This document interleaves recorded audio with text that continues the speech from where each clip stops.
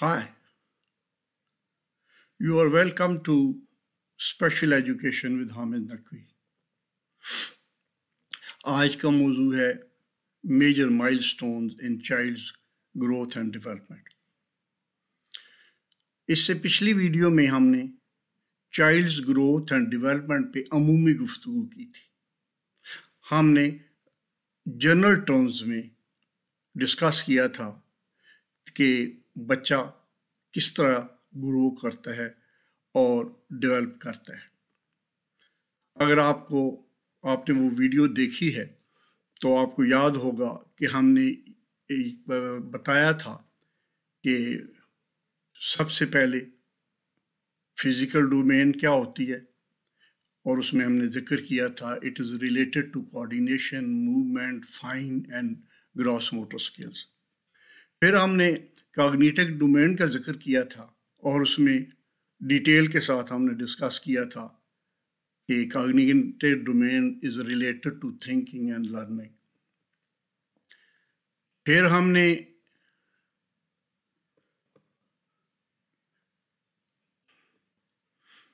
Emotional domain की भी बात की थी और उसमें जो है, इमोशनल डोमेन के बारे में बताया था कि it is related to expressing identifying and regulating emotions और चौथी जो डोमेन है डेवलपमेंट की, वो है सोशल डोमेन और इसके बारे में भी हमने अमूमी अंदाज में ज़िक्र किया था कि it is related to relationship society societal values norms and behaviour जो इंसान जो है ना अडोप्टिव बिहेवियर जो है, उसको कैसे वो, उसको रिसीव करता है और आगे बढ़ता है। आज हम इन जो डोमेन्स हैं, इनके प्रिसाइज माइलस्टोन्स का ज़िक्र करेंगे, जो इंसान की ज़िंदगी में आते हैं।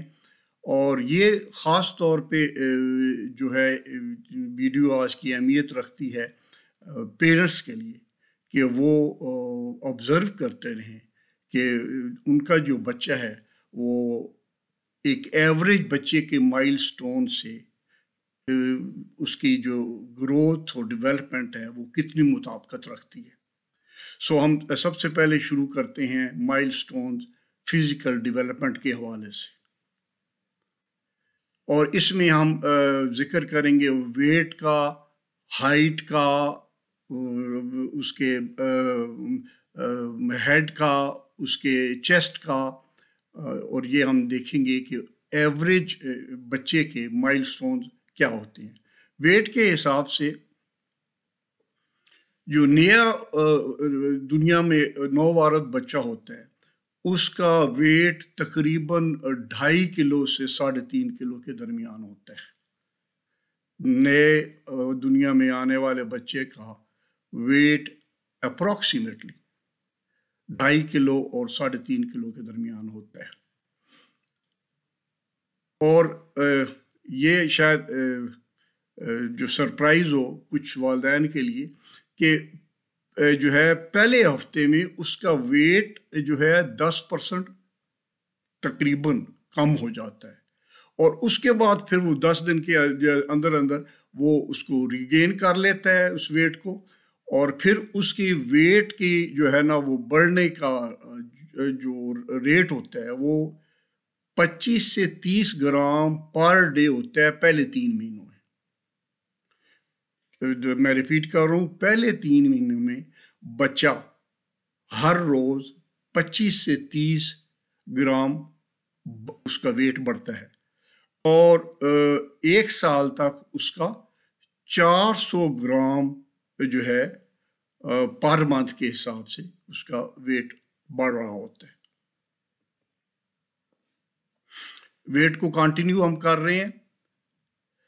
जो बच्चे होते हैं वो पाँच महीने तकरीबन में अपना जो उनका पैदाइश वाला वेट रिकॉर्ड किया गया होता है उसको वो डबल कर लेते हैं।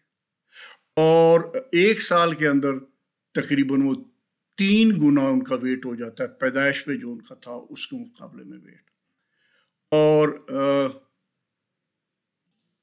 दो साल के बाद वो चार गुना बढ़ जाते हैं और तीन साल के बाद वो पाँच गुना बढ़ जाता है और पाँच साल के बाद वो छः गुना उनका वेट बढ़ जाना एवरेज बच्चे का चाहिए। और सात साल के बाद सात गुना और दस साल के बाद दस गुना उसका वेट जो है बढ़ जाना चाहिए। That is interesting information regarding the change in weight जो वेट बढ़ रहा होता है बच्चे का अब ए, उसका जो वेट है वो जो बलूगत तक वो तेज़ी से बढ़ता है और जो है ये फिर उसके बाद उसका वेट जो है वो उसका स्टेबल हो जाता है। लेंथ और हाइट दूसरी चीज़ है जी फ़िज़िकल डेवलपमेंट में। ये कद किस हिसाब से बढ़ता है? ये इसकी ईयरली इंक्रीमेंट जो है, वो जो है, वो it in height gradually diminishes from birth to maturity rate जो है रेट की बात हो रही है जी। At birth average length of a healthy newborn baby is 50 centimetre average जो लंबाई होती है, ज़ाहिर उसका लेट के लेट के जो है ना उसकी कद मापा जाता है लिटा के तो उसका जो है पचास सेंटीमीटर के करीब उसका कद होना चाहिए एवरेज ये सिक्सटी सेंटीमीटर जो है उसके जो होता है थ्री मंथ्स में, और सेवेंटी सेंटीमीटर होता है नाइन्थ मंथ्स में। और 75 सेंटीमीटर एट वन ईयर फिर से रिपीट कर देते हैं। कि तीन महीने में ये 60 मीटर तक पहुँच जाता है नौ महीने में ये 70 मीटर तक होता है और जो है एक साल में तकरीबन ये 75 सेंटीमीटर जो है, इसका जो है वो कद हो जाता है बच्चे का। कद के हिसाब से जो है ना, ये इंफॉर्मेशन कंटिन्यू कर रही है। दूसरे साल में वो बारह सेंटीमीटर इंक्रीज करता है और तीसरे साल में वो नौ सेंटीमीटर इंक्रीज करता है तकरीबन और चौथे साल में वो सात सेंटीमीटर और पाँचवें साल में वो छः सेंटीमीटर ये उसकी एवरेज जो है ना वो ग्रोथ है। इस हिसाब से अगर देखें तो हर बच्चा अपनी पैदाइश के चार से साढ़े चार साल तक जो है वो so the child doubles its that height उसका कद जो है वो दुगना हो जाता है चार से साढ़े चार साल की उम्र में। और उसके बाद वो पाँच सेंटीमीटर हर साल इंक्रीज करता रहता है। जब तक कि वो बलूगत को नहीं पहुँच जाता। ये है जी एवरेज ग्रोथ रेट कद के हिसाब से। अब कद और वज़न के हिसाब से जो है वो बॉडी मास इंडेक्स एक बनाया गया है। बड़ा दिलचस्प इसका है इसको देखिएगा और सम, समझने की कोशिश करें। It is important criteria which helps to assess the normal growth और इट्स डिविएशन कि बच्चा जो मेल न्यूट्रिशन का शिकार है या मोटापे की तरफ़ जा रहा है या उसकी ग्रोथ का डिटरमिन करने के लिए ये एक इंडेक्स है जो बड़ा इंटरेस्टिंग है। इसको आप ज़रा इस फार्मूले को नोट करें। Body mass index B M I body mass index is equal to weight kgs में divided by height in metre at the power of two इससे जो आपका वो आएगा वो रिज़ल्ट वो होगा जी बी एम आई और B M I remains content up to the age of five years if the BMI is more than 30 content uh, की बजाय कांस्टेंट सॉरी ये करेक्शन कर लीजिएगा। If the BMI is more than 30 kg uh, oblique uh, M2 it indicates obesity ये जो है इस इसका मतलब बच्चा मोटापे की तरफ़ जा रहा है और अगर ये पंद्रह K G oblique M M two it indicates malnutrition और अब इसकी बी एम आई की मजीद कैटेगरीज आप नोट कर लें। अंडर वेट के लिए अठारह पॉइंट पाँच, अठारह इशारिया पाँच जो है, इससे कम होगा। अगर बी एम आई तो ये होगा कि बच्चा अंडर वेट है नॉर्मल इस रेंज में होना चाहिए। 18.5 से 24.9 नॉर्मल रेंज है बी एम आई की। बच्चे की ग्रोथ नॉर्मल जा रही है। ओवर वेट बच्चे की जो है ना B M I twenty five से ट्वेंटी नाइन पॉइंट नाइन के दरमियान होएगी। और जो मोटापा है, जिसको इनफैक्ट डिज़ीज़ है, बीमारी हम तस्वर करते हैं, वो तीस से ऊपर अगर बी एम आई होगा तो बच्चा मोटापा की बीमारी का जो है वो शिकार है। अब ये भी जो है ना एक चीज़ नोट करें जी कद और वज़न और बीएमआई के अलावा सर का साइज़ जो है, ये सर का साइज़ बच्चे का, वो किस रफ्तार से बढ़ता है? और वो भी जो है ना, अगर एब नॉर्मल हो तो वो कुछ डिविएशन या प्रॉब्लम की तरफ़ इशारा कर रहा है। It is related to brain growth and development of intracranial volume average head circumference measured about 35 centimetre at birth जो एवरेज किसी बच्चे के सर का साइज़ होना चाहिए वो 35 सेंटीमीटर है। और इसको वो इंच टेप जो होती है उसके साथ जो है ना कानों के ऊपर इसको जो है ना वो मेजर किया जाता है। माथे से गुजरते हुए कानों के ऊपर और ये इसको मेजर किया जाता है।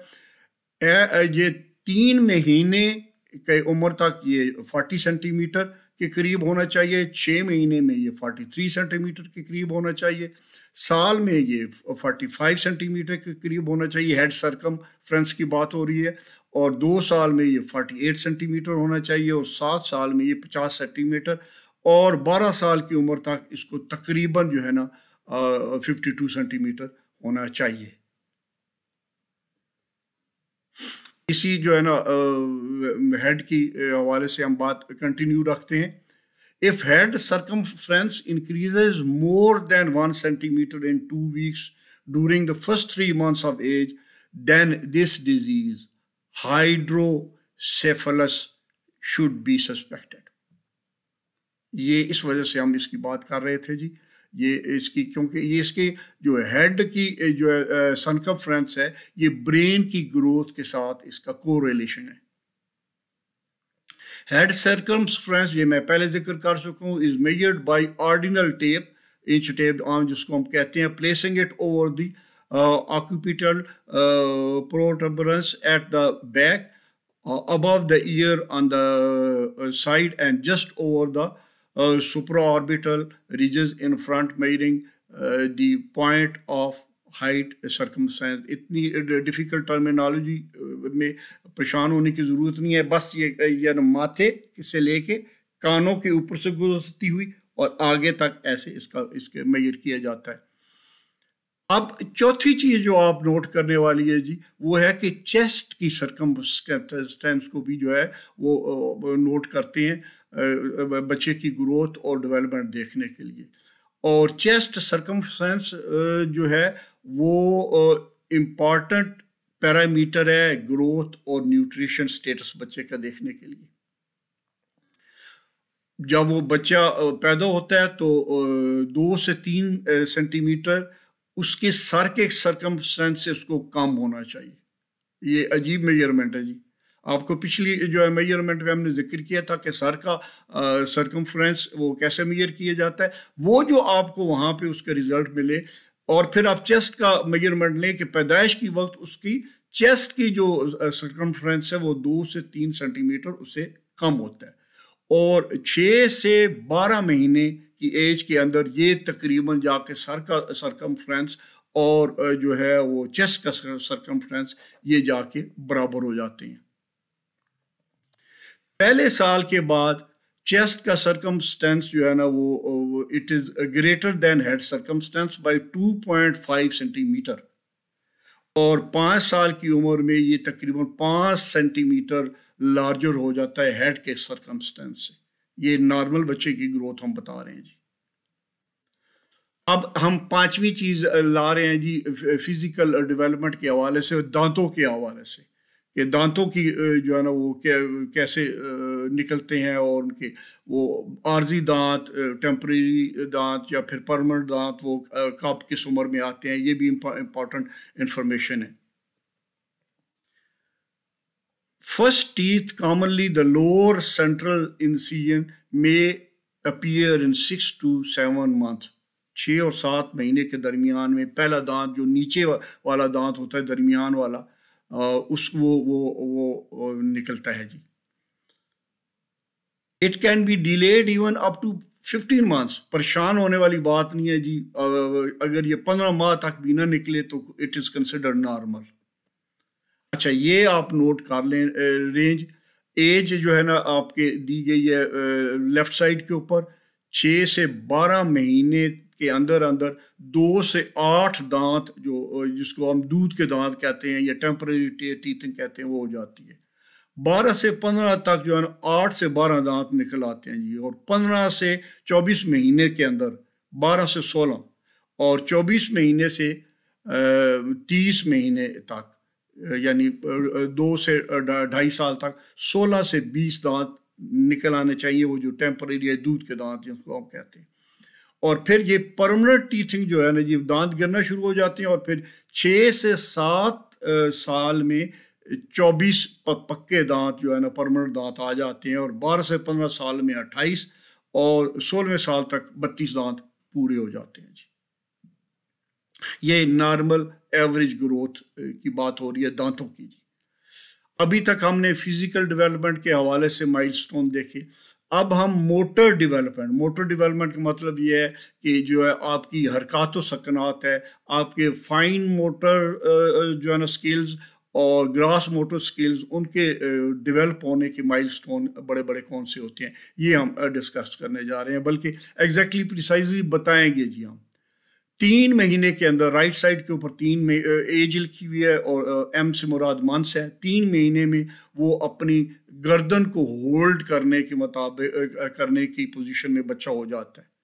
पाँच महीने में वो रोल कर बेड के ऊपर रोल कर लेता है जी। ठीक है? छः महीने में वो सिट्स विद ओन स्पोर्ट खुद बैठना शुरू हो जाता है। आठवें महीने में विदाउट स्पोर्ट जो है ना वो बैठ सकता है जी। नौवें महीने में वो पकड़ के खड़ा हो जाता है। बारहवें महीने में वो क्रॉल करना शुरू कर देता है और बगैर सहारे के खड़ा हो जाता है। पंद्रह महीने में वो जो है वॉक सलोन, क्रीप्स अपसर अपस्टे, यानी जो है ना अकेला खुद बहुत चलना शुरू हो जाता है और क्रॉल करके सीढ़ियाँ चढ़ता है। और अठारहवें महीने में यानी डेढ़ साल के करीब वो भागने की पोजीशन में हो जाता है। और दो साल में वो walks up and down the stair अब वो सीढ़ियाँ भी चढ़ भी सकता है और उतर भी सकता है। और तीन साल में वो अपनी ट्राई साइकिल जो है ना उसको चलाने की पोजीशन में हो जाता है। और चार साल में तो वो हॉप हॉप करता है एक एक, एक अपनी टांग के ऊपर भी हॉप करता है। और जो है ना वो अल्टरनेट फीट के ऊपर स्टेयर्स चलता है। अल्टरनेट यानी, जो है ना, बजाय इसके कि दोनों एक पाँव उठाए, फिर दूसरा साथ जात मिलाए, वो सीढ़ियाँ आराम से चलना, चढ़ना शुरू हो जाता है। ये थे जी उसके कुछ मोटर स्किल्स के हवाले से माइलस्टोन्स। अब जी, अब हम देखते हैं सोशल डेवलपमेंट के हवाले से उसके माइलस्टोन्स क्या हैं। इसमें बारे में थोड़ा सा इतना से बता दिया जाए कि पर्सनल और social development includes personal reactions to own social and cultural situation with with neuromotor maturity and environment stimulation. It is related to interpersonal and social skills, जी। ठीक है जी अब ये देखिएगा इसके क्या माइलस्टोन्स आ रहे हैं जी। दो महीने में वो मुस्कुराहट देता है जी स्माइल करता है जी, मुस्कुराहट देना शुरू कर देता है। तीन महीने में वो माँ को पहचानना शुरू कर देता है। छः महीने में वो स्ट्रेंजर्स को भी उसको समझ आ जाती है और स्ट्रेंजर्स को देख के वो एंग्जाइटी रिडन हो जाता है। वो थोड़ा सा परेशान भी हो जाता है स्ट्रेंजर फेस देख के। नौ महीने में वो बाय बाय जो है ना करने की पोजीशन में हो जाता है। हाथ हिला के जो है ना वेव वेव करता है। एक साल के करीब, बारह मंथ में वो जो है ना, वो आपकी तरफ़ हाथ बढ़ाता है जब उसे आप बुलाते हैं तो। और बालों के साथ गेम भी खेलने की पोजीशन में हो जाता है। पंद्रह महीने में वो जो है जार्गज और अठारह महीने वो वो पेरेंट्स को जो करते देखता है वो कॉपी करने की कोशिश करता है। दो साल में वो उसको खाने की जब ख्वाहिश है तो खाना माँगता है या मांगने का उसको समझाता है कि मुझे खाना चाहिए, पानी चाहिए, दूध चाहिए और या उसको जो है ना वो टॉयलेट के हाजत हो रही है। तीन साल में वो अपना टॉयज़ के साथ शेयर करता है और अपना नाम भी जानता है और ये भी जानता है कि मैं लड़का हूँ या लड़की हूँ और चार साल में वो ग्रुप के अंदर खेलना शुरू कर देता है और बाथरूम जा सकता है वो खुद ब खुद। और पाँच साल में वो जो है ना, वो घर वालों को बर्तन पकड़ाओ जी, ये मुझे दो, वो दो जी फलानी चीज़ पकड़ाओ। या अपना ड्रेस चेंज करो, इस पोजीशन में भी वो आ जाता है। अब एक और डेवलपमेंट की जो है ना, वो उसके माइलस्टोन की हम बात करेंगे, वो है जी लैंग्वेज डेवलपमेंट।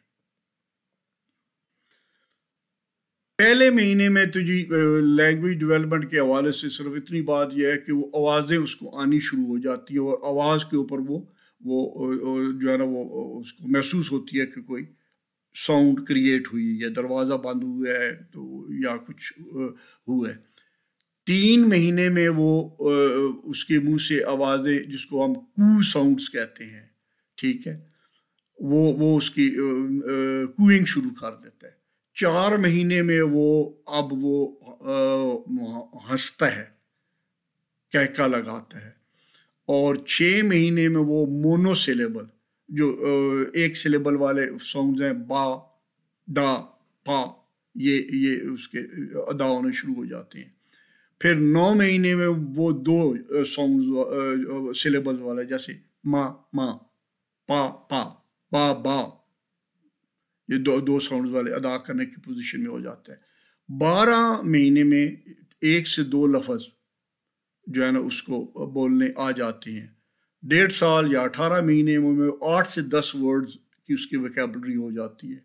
दो साल में दो या तीन वर्ड्स वाला सिंपल सेंटेंस जो है और बोलना शुरू हो जाता है और उसको प्रोनाउंस आई मी यू की भी तमीज़ होती है।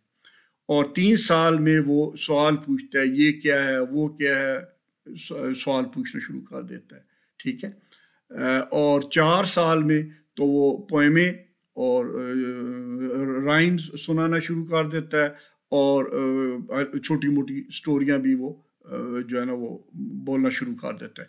पाँच साल में तो आस्क मीनिंग ऑफ़ वर्ड्स और अब उसको लैंग्वेज के ऊपर जो है ना वो काफ़ी हद तक दस्तरस हो जाती है। जी, आज हमने ज़िक्र किया जी डिफरेंट माइलस्टोन्स का डेवलपमेंट के हवाले से जो होते हैं। तो इसमें प्लीज़ नोट करने वाली ये बात है कि पेरेंट्स को इन माइलस्टोन्स का इल्म होना चाहिए और अगर कोई बच्चा इन माइल स्टोन से डेविएट कर रहा है सिग्निफिकेंटली आई रिपीट सिग्निफिकेंटली थोड़ी बहुत ये एवरेज हमने बात की है एवरेज बच्चे की माइल स्टोन ये होने चाहिए। अगर सिग्निफिकेंटली कोई डिविएट करता है तो उससे जो है ना डिनाइल फ़ेज़ में रहने की बजाय प्रोफेशनल्स के साथ जो है ना डिस्कस करना चाहिए, उनसे जो है उनको दिखाना चाहिए, जो स्क्रीनिंग टेस्ट है या डायग्नोसिस है, वो करवाना चाहिए। ताकि जो है ना वक्त के ऊपर अगर कोई जो है ना वो कमी बेशी है तो उसका कोई मेडिकेशन या ट्रीटमेंट किया जा सकते। God bless you all thank you very much stay bless अगर आपको ये वीडियो पसंद आई है तो ज़रूर लाइक कीजिएगा शेयर कीजिएगा। और अगर कोई आपका सवाल है तो कमेंट्स में उसको मेंशन करें, मैं कमेंट्स ज़रूर पढ़ता होता हूँ, कोशिश करूँगा आपके कमेंट्स में जवाब दूँ, अगर जवाब लंबा बना तो कोई अगली वीडियो में उसका जवाब जो है ना वो दे दिया जाएगा। और अगर आप इस चैनल के ऊपर नए हैं सब्सक्राइब करें ताकि आपको अगली वीडियो का जो है नोटिफिकेशन मिले और आपको पता चलता रहे जब नई वीडियो